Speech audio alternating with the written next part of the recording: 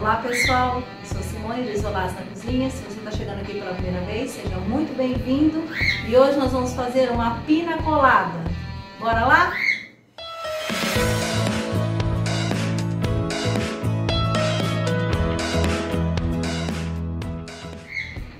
Então aqui eu tenho 300 gramas de abacaxi natura eu estou usando abacaxi pérola. Vamos colocar aqui 90 ml de leite de coco.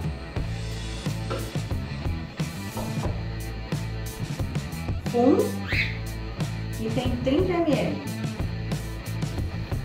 E agora, como é 90, eu vou acrescentar mais duas doces.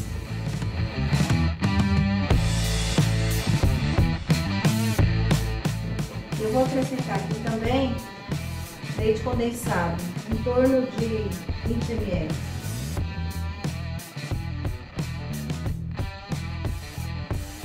E agora nós vamos bater muito bem.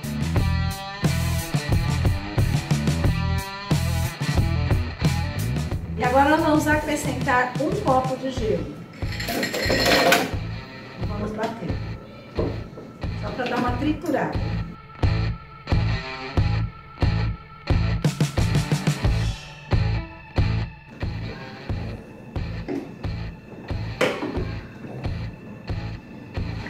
Abacaxi para decorar o nosso copo.